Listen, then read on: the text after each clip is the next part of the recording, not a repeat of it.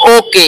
अगर आपको भी अपने आधार कार्ड में डेट ऑफ़ बर्थ को चेंज करना है, आपके आधार कार्ड में भी गलत डेट ऑफ़ बर्थ है और उसको चेंज करके सही डेट ऑफ़ बर्थ करना चाहते हो, लेकिन दिक्कत कहाँ पर आती है? जब आपसे बर्थ सर्टिफिकेट या इस तरीके का कोई प्रूफ मांगा जाता है, जो आपके पास बिल्कुल भी नहीं रहता।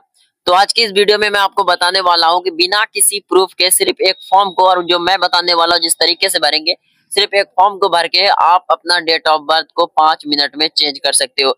तो चलिए शुरू करते हैं। इस अपना डेट ऑफ़ बर्थ चेंज करने के लिए सबसे पहले आपको आ जाना है गूगल क्रोम में। गूगल क्रोम में आने के बाद देख सकते हो यहाँ पर एक मैंने फॉर्म खोल रखा है। इस फॉर्म को फिल करके आप अपना डेट ऑफ़ बर्थ को चेंज कर सकते हो। सबसे पहले आपको इस फॉर्म को भरना कैसे है तो यहाँ पे देख लीजिए। अगर आप खुद से इस फॉर्म को डाउनलोड लिंक डिस्क्रिप्शन में है, इस फॉर्म को खुद से भर सकते हो तो भर लेना। बट अगर आपको एक पर्टिकुलर वीडियो चाहिए कि इस फॉर्म को सही तरीके से कैसे भरते हैं तो उस पर मैं एक कंप्लीट वीडियो बना दूँगा। आप कमेंट कर दीजिएगा।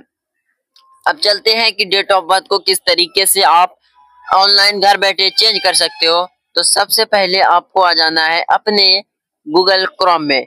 गूगल क्रोम में आने के बाद यहाँ पर लिखना है my Aadhaar dot U I D A I dot G O V dot in लिखने के बाद आप आधार के ऑफिशियल वेबसाइट पर ही डायरेक्ट हो जाएँगे। उसके बाद आपको लॉगिन पे क्लिक करके अपना लॉगिन कर लेना है। सबसे पहले आप अपना आधार नंबर यहाँ पे डालेंगे। उसके बाद जो ये कैप्चर कोड है, इस कैप्चर कोड को डालेंगे। उसके बाद सेंड ओटीपी पे आप क्लिक करेंगे। ओटीपी पे सेंड ओटीपी पे क्लिक करते ही कुछ इस तरीके का डैशबोर्ड देखने को मिलेगा, जहाँ पे आप ऑनलाइन अपडेट सर्विस पे क्लिक जैसे ही आप करते हो तो आपको कुछ इस तरीके का डैशबोर्ड देखने को मिलेगा। यहाँ पे आपका करंट डेट ऑफ़ बर्थ है, जो आपके आधार कार्ड में अभी डेट ऑफ़ बर्थ है। अब आपको नया डेट ऑफ़ बर्थ जो आपका सही डेट ऑफ़ बर्थ है, उसके लिए आपको यहाँ पे क्लिक करना है और कैलेंडर से जो भी आपका सही डेट ऑफ़ बर्थ है, उसको यहाँ पे चॉइस कर लेना है। ठीक है? जो सही आपका डेट ऑफ़ बर्थ है, उसको यहाँ पे आप सिलेक्ट कर लोगे। और जो डेट है, जो मंथ है, उस सारे सिलेक्ट करने के बाद यहाँ पे आपको new date of birth show कर दिया जाएगा। अब उस फॉर्म को कहाँ से अपलोड करना, सबसे पहले सिलेक्ट वैलिड डॉक्यूमेंट पाएँगे और यहाँ पे लिखा है सेल्फ डिस्क्लेरेशन फॉर्म जी हाँ ये कोई बर्थ सर्टिफिकेट वगैरह नहीं ये सरकार की तरफ़ से नहीं बनता। ये आप खुद से भर दोगे, दो चार आधार नंबर लिख के, नाम लिख के और इसको आप भर सकते हो खुद से। अगर वीडियो चाहिए तो कमेंट कर देना, मैं वीडियो बना दूँगा, किस तरीके से भरा जाता है। उसके बाद जो मैंने अभी सेल्फ डिस्क्लेरेशन फॉर्म भरा है, उसको यहाँ पर मैं अपलोड कर दूँगा। मेरा सेल्फ डिस्क्लेरेशन फॉर्म अपलोड होते ही कुछ इस तरीके का देखने को मिलेगा। उसके बाद मैं नेक्स्ट बटन पर क्लिक करूँगा। यहाँ पे लिखा है नेक्स्ट इस पे जैसे क्लिक करेंगे तो यहाँ पे पूछ रहा are you sure want to change मतलब आप कंफर्म हो कि आपका ओरिजिनल सही डेट ऑफ़ बर्थ यही है और यही आप date of birth Aadhaar card में चेंज करना चाहते हो। और ये एक ही बार होता है लाइफ में तो आप पाँच मिनट की इस वीडियो में अपने से कर सकते हो।